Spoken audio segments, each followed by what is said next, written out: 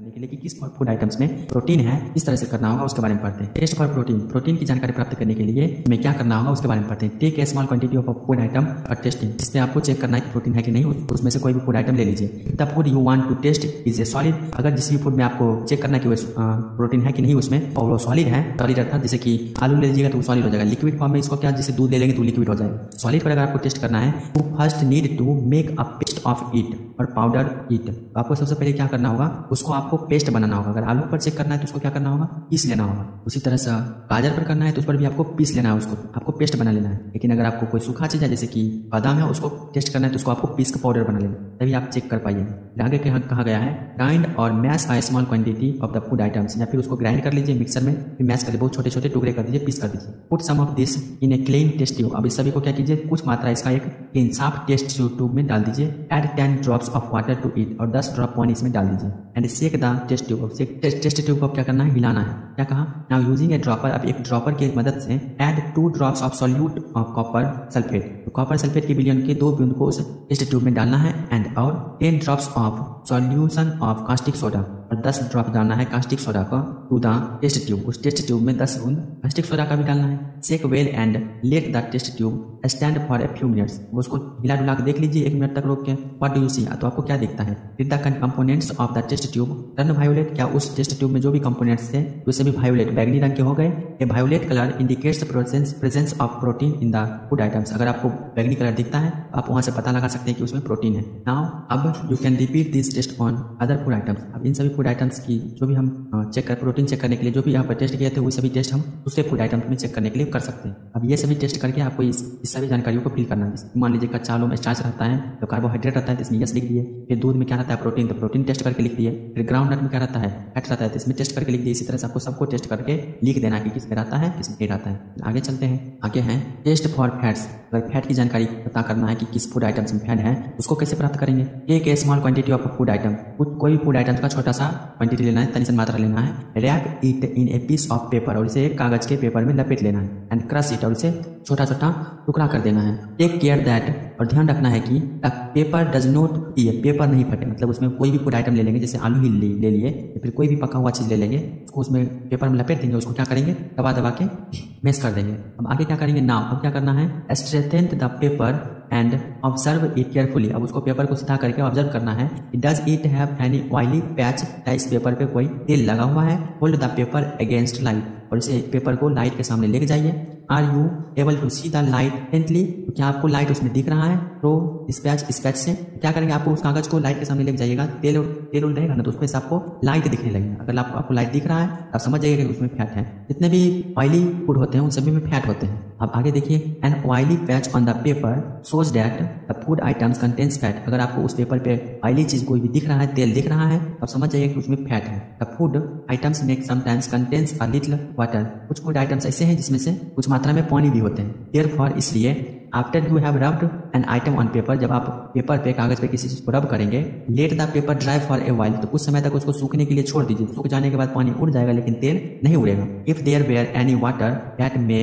have come from food अगर कोई पानी उस भोज्य पदार्थ से निकल के उस कागज़ में लग गया तो वो क्या हो जाएगा? सूख जाएगा। It would dry up after some time तो कुछ समय के बाद वो सूख जाएगा। If no oily patch shows up after this अगर इसमें कोई भी वाइली पैच नहीं दिखता है the food items does not contains any what fat तो उस फ़ूड आइटम्स में कोई भी फैट नहीं होता है। आगे बताया गया है what do this test show तो ये सभी टेस्ट क्या शो करते हैं? Are fats proteins and starch present in all the food items that you tested तो आप जो भी टेस्ट किए हैं, इससे क्या सिद्ध होता है? सभी फ़ूड आइटम्स में सभी तरह के विटामिन प्रोटीन्स और फैट्स उपलब्ध होते हैं, इसका आंसर है नहीं। सभी फ़ूड आइटम्स में सभी तरह के न्यूट्रिएंट्स उपलब्ध नहीं होते हैं। तभी तो हम अलग अलग तरह का खाना खाते हैं, ताकि स्वस्थ रह सके। अगर एक ही फ़ूड आइटम्स में सभी तरह के न्यूट्रिएंट्स उपलब्ध होते हैं, हम एक ही चीज़ खा के सभी शारीरिक आवश्यकताओं को पूरा कर सकते थे, लेकिन ऐसा नहीं होता है। फिर आगे कहा गया है does a food item contains more than one nutrients या एक फ़ूड आइटम्स में एक से ज़्यादा न्यूट्रिएंट्स होते हैं? हाँ ऐसा होता है। एक फ़ूड आइटम में एक से ज़्यादा न्यूट्रिएंट्स होते हैं, जैसे गाजर में। गाजर में विटामिन से होते हैं, लेकिन पपीता में बहुत से विटामिन होते हैं। इससे यहाँ सिद्ध होता है एक फ़ूड आइटम्स में बहुत से न्यूट्रिएंट्स हो सकते हैं। Do you find any food items that does not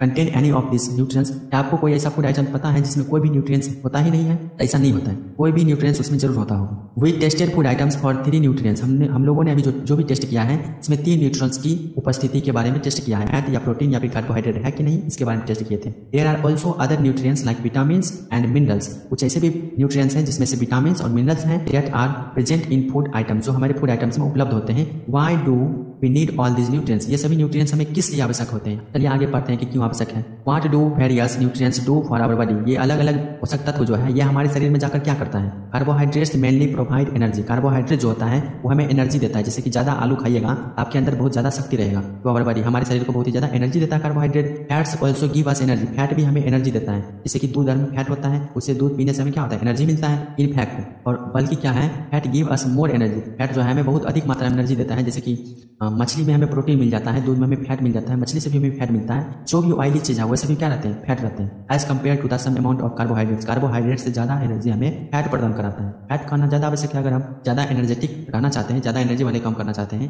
उसमें हमें फैट्स खाना बहुत आवश्यक है। Food containing containing fats and carbohydrates are also called energy giving food जो भी फ़ूड आइटम्स में फैट रहते हैं और कार्बोहाइड्रेट रहते हैं, उनको हम एनर्जी गिविंग फ़ूड के नाम से जानते हैं। तब कार्बोहाइड्रेट हमें एनर्जी देता है और फैट भी हमें एनर्जी देता है। इसलिए हम इसको क्या कहा energy giving food proteins are needed for the growth and repair of our body हमारे शरीर में कहीं टूट फूट हो जाता है या फिर मान लीजिए कहूँ घाव हो गया तो उसको ठीक होने के लिए हमारे शरीर में प्रोटीन की आवश्यकता होती है। हमारी हाइट हमारे शरीर को विकास के लिए प्रोटीन की आवश्यकता हो। ज़्यादा बड़ा, लंबा हो जाए, ज़्यादा हमारे शरीर में आंस मसल्स रहे, इसके लिए हमें प्रोटीन की आवश्यकता होगी। प्रोटीन अधिक मात्रा में कंज्यूम करना होगा हमारे बॉडी को। आगे कहा गया है? Foods proteins are of called body building foods इसलिए हमें क्या कहा गया है? प्रोटीन को इसलिए क्या कहा गया है? बॉडी बिल्डिंग फ़ूड कहा गया। ज़्यादा मात्रा में प्रोटीन खाने से हमारे मसल्स बोन्स हमारे पूरे शरीर का ग्रोथ बहुत तेज़ी से होता है। इसलिए प्रोटीन को बॉडी बिल्डिंग फ़ूड भी कहा गया है। ये सभी आपको इंपॉर्टेंट क्वेश्चन है, इसको आपको याद भी रखना होगा। फिर आगे कहा गया है vitamin help in protecting our body against disease अगर विटामिन वाले जो भी फ़ूड आइटम्स अगर हम लेते हैं तो हमें बीमारी होने से बहुत ही ज़्यादा ये हमें अच्छा करती है, हमें बचाती है, हमें जल्द बीमार होने नहीं देती है विटामिन ज़्यादा लेने से। Vitamin also help in keeping our eyes bones teeth gums and healthy vitamin जो है वो हमारी आँखों की, हड्डियों की टीथ दांतों की और गम्स इस सभी चीज़ों को हेल्दी रखने में, स्वस्थ रखने में मदद करते हैं। Vitamin vitamin are of different kind vitamin जो है अलग अलग तरह के होते हैं। नोन बाई डिफरेंट नेम्स और इनके नाम भी अलग अलग होते हैं। Some of this are vitamin A vitamin C vitamin D and vitamin E and vitamin K इन सभी विटामिन विटामिन में से कुछ विटामिन का नाम यहाँ दिया गया है। Vitamin A vitamin C vitamin D vitamin E और vitamin K there is also a group of vitamin called vitamin B complex और विटामिन बी कॉम्प्लेक्स के नाम से एक ग्रुप चलता है विटामिन का उसको हम विटामिन बी कॉम्प्लेक्स कहते हैं। Our body needs all type of vitamin हमारे शरीर को बहुत सभी प्रकार के विटामिन की आवश्यकता होती है। विटामिन इन स्मॉल क्वांटिटीज हमारे शरीर को थोड़े थोड़े मात्रा में बहुत सभी विटामिन की आवश्यकता होती है। Vitamin A keeps our skin and eyes healthy अगर हम विटामिन ए खाएँगे, हमारी आँखें तंदुरुस्त रहेगी और हमारी स्किन तंदुरुस्त रहेगी। Vitamin C helps body to fight against many diseases vitamin vitamin C जो है हमें बीमारी होने से, बीमार होने से रक्षा करती है, या हमें बहुत ही सारी बीमारियों से लड़ने में मदद करती है। Vitamin D helps our body to use calcium for bones and teeth vitamin D जो है वो हमारी दांतों को और हमारी हड्डियों को मज़बूत रखता है। विटामिन डी हमारी दांत और हड्डी को स्ट्रेंथ देती है, शक्ति देती है। Foods that are rich in different vitamin are shown in figure 2.6 and 2.9 2.6 में और 2.9 में जो भी फ़ूड आइटम्स दी गई है, वो सभी फ़ूड आइटम्स विटामिन से भरे हुए हैं, उनको हम में ज़रूर ही खाना चाहिए। जैसे कि देखिए some source of vitamin A vitamin A हमें किस किस से मिलता है? पपाया खाएँगे पपीता से विटामिन ए मिल जाएगा कैरोट गाजर से मिल जाएगा मैंगो आम खाने से विटामिन ए मिल जाएगा। फिर आगे बताया गया है कि विटामिन ई किससे मिलेगा? फिर आगे बताया गया है, ये क्या है? लीवर लीवर खाने से वीट वीट मीन्स गेहूँ गेहूँ खाने से और चावल खाने से, इन सभी से हमें विटामिन बी मिलता है। फिर आगे बताया गया है विटामिन सी का स्रोत क्या क्या है? आंवला खाएँगे लेमन नींबू खाएँगे चिली मिर्च खाएँगे। ग्रीन चिली होना चाहिए, हरा मिर्च गुआवा अमरूद ऑरेंज मीन्स संतरा और टोमेटो टमाटर, ये सभी चीज़ों को खाने से हमें विटामिन सी मिलता है। फिर आगे विटामिन डी हमें किन में मिलता है? तो एक अंडा खाएँगे, मछली खाएँगे लीवर लीवर में भी विटामिन डी मिल जाता है, उसके बाद बटर मक्खन खाएँगे, दूध पिएँगे इन सभी से हमें विटामिन डी मिल जाएगा तो हमारी हड्डियों को और हमारे दांतों को मजबूती। फिर आगे भी है some source of proteins plant source and animal source तो प्रोटीन हमें कहाँ कहाँ से मिलते हैं? जो प्लांट से भी हम कुछ प्रोटीन प्राप्त कर लेते हैं, कुछ प्रोटीन हमें एनिमल जानवरों से भी प्राप्त हो जाता है। इसे देखिए, अंडा हमें कहाँ से मिलता है? जानवरों से मिलता है। इसमें भी विटामिन हमको मिलता है प्रोटीन इसमें भी मिलता है हमें। फिर देखिए, पनीर पनीर हमें दूध से मिलता है तो दूध में भी क्या रहता है? प्रोटीन मिलता है। मछली, फिर मीट मांस खाते हैं। इसमें भी हमें प्रोटीन मिलता है, दूध से भी प्रोटीन मिलता है। फिर आगे दिखाया गया है तो हमें प्लांट से मिलते हैं प्रोटीन उसके बारे में। पुअर दाल दाल से भी मिलता है, फिर बीन्स बीन्स से भी प्रोटीन मिलता है। सोयाबीन भी प्रोटीन का स्रोत है। पीस पीस मीन्स मटर, उसके बाद ग्राम ग्राम मीन्स चना। ये सभी प्रोटीन के सोर्स है, इसे हमें ज़रूर ही कंज्यूम करना चाहिए, जिससे हमारे शरीर, जिससे हमारी बॉडी ग्रोथ में मदद मिले। फिर आगे पढ़ते हैं। यहाँ बताया गया है our body also prepares vitamin D हमारा शरीर भी विटामिन डी बनाता है। In the presence of sunlight वो कब बनाता है तो सूरज की रोशनी की उपस्थिति में nowadays insufficient exposure of to sunlight is causing vitamin D deficiency in many people आजकल क्या हो गया है लोग बाहर निकलने से डरते हैं धूप में निकलने से डरते हैं इसके कारण उनके शरीर में विटामिन डी की मात्रा कम जाती है इसलिए हमें धूप में रहने रहना चाहिए ज़्यादा धूप में नहीं रहना चाहिए सुबह की जो धूप होती है उसमें हमें रहना चाहिए जिससे हमारे शरीर में विटामिन डी की मात्रा बनी रहे फिर आगे बताया गया है, और proper growth of body and to maintain good health हमें एक अच्छा स्वस्थ जीवन जीने के लिए और शरीर की सही से विकास करने के लिए some source of different minerals are shown in figure two point one zero two point one zero में हमें कुछ अलग अलग तरह के मिनरल्स के सोर्स दिखाए गए हैं जिसे हमें किसी भी तरह से कंज्यूम करना चाहिए ताकि हम स्वस्थ रह सकें। तो चलिए टू पॉइंट वन क्या है उसको देख लेते हैं। ये रहा source of some minerals minerals के कुछ सोर्स यहाँ दिए गए हैं। Some source of calcium calcium हमें दूध और अंडा से मिल जाएगा। फिर some source of iron iron हमें कहाँ से मिल जाएगा? पालक खाएँगे, सेब खाएँगे, लीवर खाएँगे। और ये क्या है? बैर लगता है हमको। बैर खाएँगे, इससे हमें क्या मिल जाएगा? आयरन मिल जाएगा। आगे पढ़ते हैं। आगे देखिए, आगे हमें क्या लेना है? फॉस्फेट फॉस्फेट हमको किस मिल जाएगा? केला खाने से मिल जाएगा, ये गेहूँ खाने से मिल जाएगा, चना खाने से, गेहूँ, उसके बाद ये चावल खाने से मिल जाएगा, हरी मिर्च खाने से और दूध से भी हमें फॉस्फेट मिल जाएगा। फिर आगे क्या है? सोर्स ऑफ़ आयोडीन नमक। में किन किन चीज़ों से मिलेगा? तो अदरक से मिल जाएगा। उसके बाद नमक यहाँ से मिल ही जाएगा। उसके बाद यहाँ क्या है? फ़िश मछली से भी मिल जाएगा। इन सभी चीज़ों को खाने के बाद हमें आयोडीन प्राप्त हो जाएँगे। फिर आगे पढ़ते हैं। मोस्ट फ़ूड आइटम्स बहुत से फ़ूड आइटम्स ऐसे हैं usually have more than one nutrients इसमें एक से ज़्यादा न्यूट्रिएंट्स उपस्थित होते हैं। You may have notice this आपने इसे नोटिस भी किया होगा। While recording your observation in table two point two जब आप टेबल टू पॉइंट टू को ऑब्ज़र्व कर रहे थे नोटिस किया होगा कि उसमें एक से ज़्यादा न्यूट्रिएंट्स उपस्थित थे। However, कैसे भी in a given raw mineral one particular nutrient में भी present in much larger quantity than in others और हो सकता है कि आप किसी भी कच्चे रॉ मटेरियल्स में देखेंगे मिनरल्स मिनरल्स रॉ मटेरियल में देखेंगे आपको एक से ज़्यादा या फिर अधिक मात्रा में न्यूट्रिएंट्स एक ही फ़ूड आइटम्स में उपलब्ध मिलेंगे। फॉर एग्जाम्पल्स उदाहरण के तौर पे rice has more carbohydrates than other nutrients चावल में आपको बहुत ही अधिक मात्रा में कार्बोहाइड्रेट्स मिलेंगे, दूसरे अन्य न्यूट्रिएंट्स की मात्रा में। फिर we say that rice is carbohydrate rice source of food इसलिए कहा जाता है कार्बोहाइड्रेट का मुख्य स्रोत क्या है? चावल। चावल ज़्यादा खाएँगे तो हमें कार्बोहाइड्रेट ज़्यादा मिलेगा। कार्बोहाइड्रेट ज़्यादा मिलेगा तो हमारे अंदर एनर्जी ज़्यादा रहेगा। एनर्जी ज़्यादा रहेगा तो हम लोग काम करने में फुर्तीला रहेंगे। फिर आगे बताया गया है बिसाइड्स दीज न्यूट्रिएंट्स इन सभी न्यूट्रिएंट्स के अलावे our body needs dietary fibres हमारे शरीर को डाइटरी फाइबर्स की भी आवश्यकता होती है एंड वाटर और पानी की भी आवश्यकता होती है। Dietary fibres are also known as roughage dietary fibre को हम लोग रफेज के नाम से भी जानते हैं। Roughage mainly roughage is mainly provided by plant products in our food ये सभी रफेज जो हैं, अर्थात डाइटरी फाइबर जो हैं, वे प्लांट से मिलते हैं पेड़ पौधे से मिलते हैं। Whole grains and pulses potatoes fresh fruits and vegetables are main source of roughage और डाइटरी फाइबर के मेन स्रोत क्या है?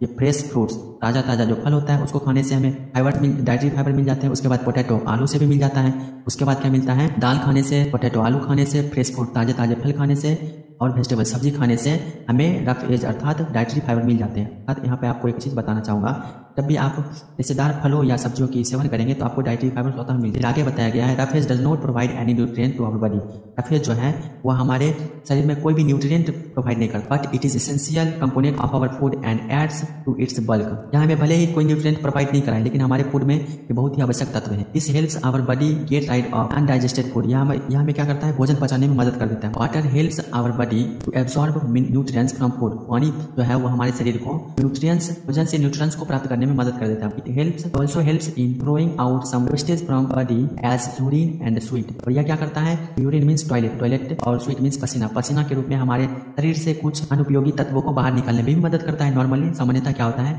We get most of the water that our body needs from the liquids drink तो बहुत से liquid के form में जो भी हम चीज़ खाते हैं, जैसे दाल, चावल, ये सब जो खाते हैं, इसमें बहुत से मात्रा में हमें पानी ही मिलता है। और कुछ जैसे हम पानी पीते हैं और दूध पीते हैं और चाय पीते हैं, इससे हमारे शरीर में अधिक मात्रा में पानी की प्राप्ति होती है in addition we add water to most cooked food और जो भी हम कुक्ड फ़ूड खाना पका के खाते हैं, उसमें से अधिक मात्रा में पानी ही रहता है। जैसे सब्ज़ी बनाते हैं, उसमें भी पानी रहता है। दाल बनाते हैं, उसमें भी पानी रहता है। चावल बनाते हैं, उसमें भी पानी रहता है। तो इसलिए कहा गया है कि बहुत से फ़ूड आइटम्स ऐसे हैं जिसमें अधिक मात्रा में पानी ऐड किए जाते हैं पकाते समय।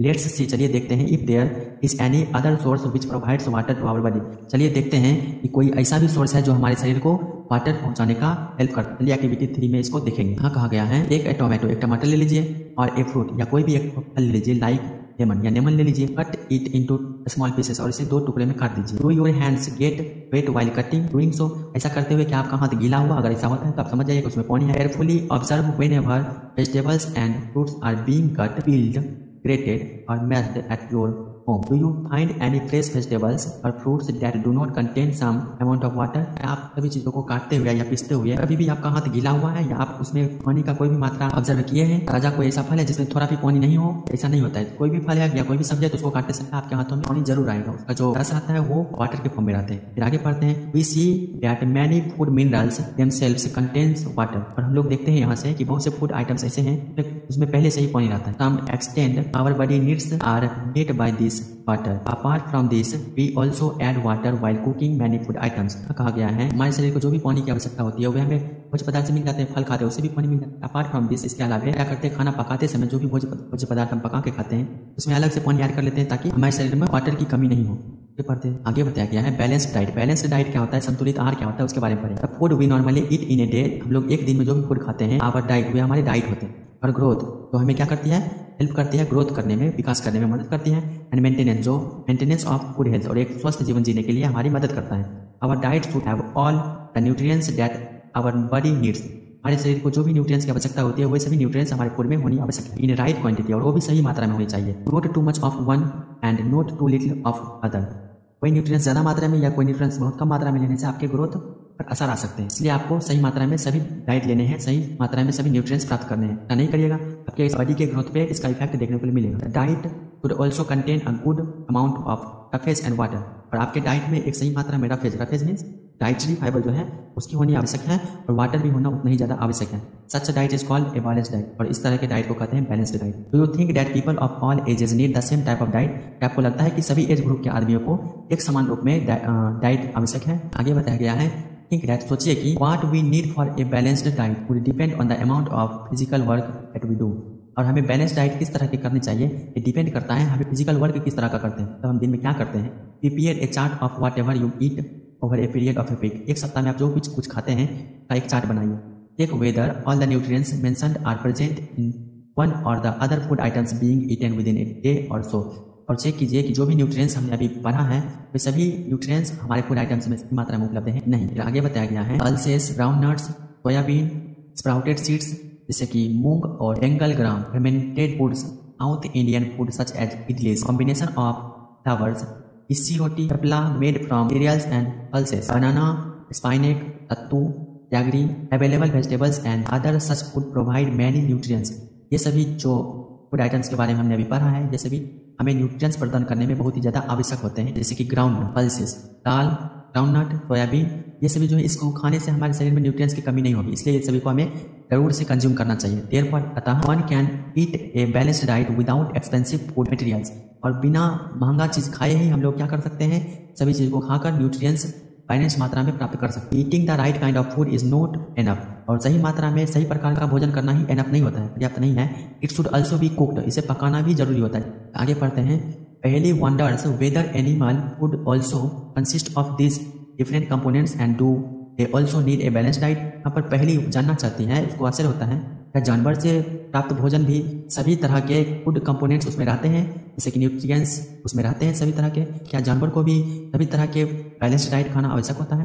हाँ जानवर को भी बैलेंस डाइट खाना आवश्यक होगा और उसको भी सही मात्रा में सही सही न्यूट्रिएंट्स लेने की आवश्यकता होती है। आगे कहा गया है it should also be cooked properly so that its nutrients are not lost और भोजन को सही से पकाना भी चाहिए क्योंकि पकाने से इसके न्यूट्रिएंट्स क्या होते हैं? बने रहते हैं। और ज़्यादा पका लेने से इसकी न्यूट्रिएंट्स भी कम जाती है, ऐसा भी ध्यान रखना है। Are you aware that some nutrients guest lost in process of cooking and preparation क्या आप जानते हैं? खाना पकाने से कुछ न्यूट्रिएंट्स पकाते समय भी उसका न्यूट्रिएंट्स लॉस्ट हो जाता है खो जाता है। If the vegetables and fruits are First, after cutting or peeling them, it may result in the loss of some vegetables vitamins. कहा गया है कि अगर आप कुछ फ़ूड आइटम्स को काटते हैं या पकाते हैं तो पकाते समय उसमें से कुछ विटामिन हो जाते हैं। कुछ विटामिन क्या हो जाते हैं? हो जाते हैं। The skin of many vegetables and fruits contains vitamin and minerals और जो बहुत से फ़ूड आइटम्स ऐसे हैं बहुत से सब्ज़ी ऐसे हैं बहुत से फल ऐसे हैं जिसके छिलका, जिसको हम छिलका कहते हैं, उसमें भी क्या रहते हैं? विटामिन रहते हैं और मिनरल रहते हैं। और जनरली हम किसी भी फल या सब्ज़ी को खाते हैं तो उसके छिलके को छिलके फेंक देते हैं। जिसके कारण जो विटामिन रहता है, वो वहाँ से फेंका जाता है, फिर आगे कहा गया है मिनरल इसी तरह से इसी तरह से रिपीटेड वॉशिंग ऑफ़ राइस बार बार चावल धोने से क्या होता है? एंड पल्सेस दाल और चावल बार बार धो धो बनाते हैं तो क्या होता है?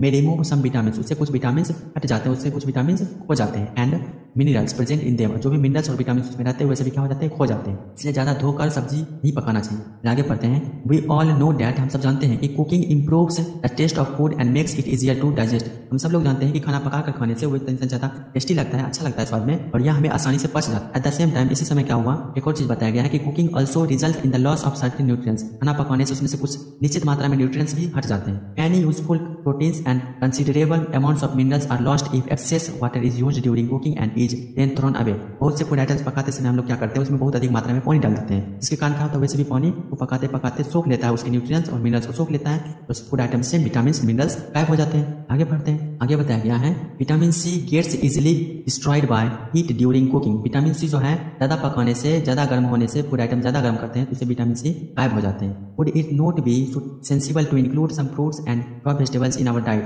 के कारण क्या हो जाएगा? हमारी डाइट में इन सभी फ़ूड आइटम्स को पका कर नहीं खाना चाहिए, जिसमें से विटामिन सी रहता है। जैसे कि नींबू हम पका कर खाते हैं, नींबू तो कच्चा खाते हैं। पूछो पूछो जो है सोचा की और सोचा की fats would be the best food to eat all the time A katori katori means bowl of fat will give much more energy than a katori of carbohydrates rich food इसलिए बोझो, सोच रहा था कि अगर हमको फैट की आवश्यकता होगी तो एक कटोरी भर के हम कार्बोहाइड्रेट खा लेंगे। कार्बोहाइड्रेट ज़्यादातर हमें क्या किसमें मिलता है? चावल में मिलता है तो ज़्यादा हम चावल खा लेंगे। एक कटोरी भर के तो हमें बहुत सारा एनर्जी मिल जाएगा। क्या यह सही सोच रहा है? So he ate nothing but food rich in fat इसलिए क्या किया? वो बहुत ही अधिक मात्रा में कार्बोहाइड्रेट लेना शुरू कर दिया। और फैट खाता ही नहीं। फैट रहता है फैट खाना छोड़ दिया। जैसे कि फ्राइड फ़ूड लाइक समोसा पूरी स्नैक्स मलाई, रबड़ी और पेड़ा। ये सभी फ़ूड आइटम्स खाना छोड़ दिया। जिसके कारण उसके शरीर में फैट की कमी हो जाएगा तो ऐसा नहीं करना चाहिए। आपको सही सही मात्रा में सभी फ़ूड आइटम्स को कंज्यूम करना चाहिए। Do you think he was right of course no क्योंकि वह सही नहीं था it can be very harmful for us to eat too much fat rice foods and we may end up suffering from a condition called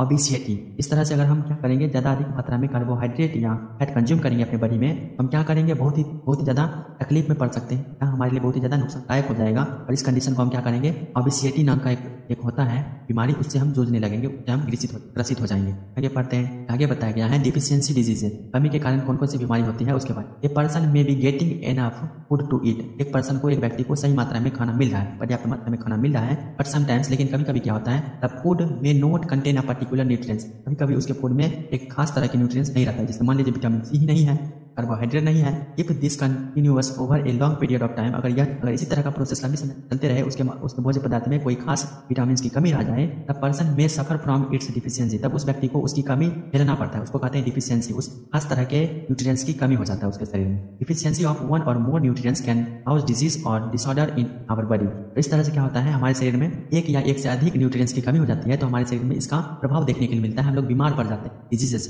और ये क्या हो जाते हैं? डिज़ीज़ बीमारी का रूप ले लेता है। That occur due to lack of nutrients over a long period are called deficiency diseases और इस तरह से हमारे शरीर में जो बीमारी उपलब्ध होता है, उसको हम कहते हैं डिफिशियंसी डिज़ीज़ क्योंकि वह बहुत लंबे समय से हमारे शरीर में एक खास तरह की विटामिन न्यूट्रिएंट्स की कमी हो रही थी, जिसके कारण से वह बीमारी उपलब्ध हुआ है इसलिए उसे हम कहेंगे डिफिशियंसी डिज़ीज़ फिर आगे पढ़ते हैं। आगे बताया गया है if a person does not get enough protein in or her food for long time अगर कोई व्यक्ति लंबे समय से अपने भोजन में प्रोटीन नहीं ले रहा है he she is likely to have sustained growth swelling of face उसका फेस क्या होगा? फूल जाएगा, और उसका ग्रोथ जो है, वो रुक जाएगा, उसका शरीर विकास नहीं करेगा। इस कलरेशन ऑफ़ हेयर उसका बाल जो है, वो पक जाएगा। स्किन डिजीजेज तो स्किन से संबंधित प्रॉब्लम होने लगेगी चर्म रोग हो जाएगा, उसके बाद डायरिया उसको डायरिया भी हो जाएगा। इसलिए हमें सही मात्रा में प्रोटीन लेना चाहिए।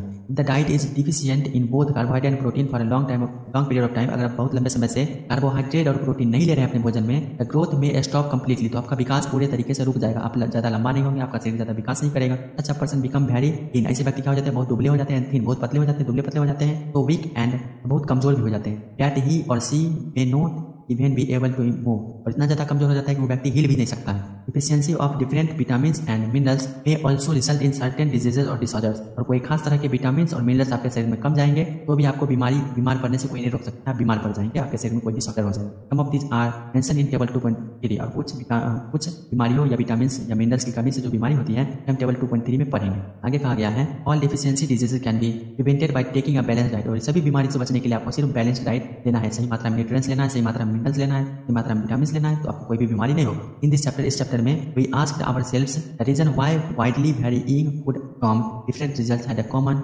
distribution इसलिए हम इस चैप्टर में सीखे कि अलग अलग राज्यों में जो फ़ूड आइटम्स होते हैं, वे हमें अलग अलग राज्यों में किस तरह से उपलब्ध हो जाते हैं। जैसे कि हमारे यहाँ अगर जब नहीं होता तो हमें कश्मीर से प्राप्त हो जाते हैं। तरह से हमारे यहाँ पर बहुत ज़्यादा अधिक मात्रा हो जाता है तो दूसरे शहरों में भेजा जाता है। आगे कहा गया है? This distribution we find ensures that our meals have balanced of the different nutrients need by our body ये क्या होता है, ये अलग अलग शहर से जो फ़ूड आइटम्स अलग अलग शहरों में भेजा जाता है। इससे क्या होता है? वहाँ के रहने वाले लोगों को सही मात्रा में पोषक तत्वों की प्राप्ति हो जाती है और न्यूट्रिएंट्स हेल्थ उसके शरीर में चाहिए, वो सभी की प्राप्ति हो जाती है। अब यहाँ पे हम लोग पढ़ेंगे कि किन किन विटामिन की कमी से कौन कौन सा रोग होता है। चलिए विटामिन ए जो है, इसकी कमी से लॉस ऑफ़ विजन आई से संबंधित प्रॉब्लम होती है, आँख का रोशनी कम जाता है पुअर विजन आँख की रोशनी क्या हो जाती है? कम हो जाती है loss of vision in darkness अंधेरे में दिखाई देना बंद हो जाता है। हम टाइम से कंप्लीट लॉस ऑफ़ विजन कभी कभी क्या हो जाता है? विटामिन ए के कमी से हमारे पूरे जीवन भर दिखाई देना बंद हो जाता है। विटामिन बी वन जो है, इसके कमी से क्या होता है? बेरी बेरी नाम का रोग होता है और वीक मसल्स हमारे मसल्स कमज़ोर हो जाते हैं। And very little energy to work और बहुत कम एनर्जी हमें मिलता है कम करने फिर विटामिन सी के कमी से क्या होता है? स्कर्वी रोग होता है और ब्लीडिंग गम्स क्या होते हैं? Bleeding gums would take longer time to heal और घाव जो होते हैं उसे बहुत अधिक मात्रा में ब्लड निकलते हैं, कम निकलते हैं और सूखने में, घाव फूटने में बहुत ही अधिक लंबे समय लगता है। फिर विटामिन डी के कमी से क्या होता है? रिकेट्स नाम का रोग होता है। Bones become soft and bend हमारा शरीर जो हड्डी है क्या हो जाती है? मुलायम सॉफ्ट हो जाती है और बेंड मुड़ने लगती है। कैल्शियम कैल्शियम का कमी से क्या होता है? बोन एंड टूथ ठीक है बोन हड्डी और दांत जो है, वो क्या हो जाते हैं? कमज़ोर हो जाते हैं। वीक बोन्स कमज़ोर हड्डी हो जाती है टूथ वीक है और दांत क्या हो जाती है? सरगढ़ के टूटने लगता है। आगे पढ़ेंगे। आगे बताया गया आयोडीन आयोडीन की कमी से क्या होता है क्वाइटन होता है क्वाइटन क्या होता है? Glands the neck appear swollen हमारे गले की जो गर्दन जो है वो स्वाइलन मतलब खुला हुआ लगता है। मेंटल डिसेबिलिटी इन चिल्ड्रन और बच्चे में दिमागी रूप से संतुलन भी खो देता है बच्चा। आगे आयरन आयरन की कमी से क्या होगा? एनीमिया नाम का रोग होगा। हम लोगों को कमज़ोरी होना शुरू हो जाता है। हम लोग कमज़ोर महसूस करने लगते तथा हमारा चैप्टर समाप्त।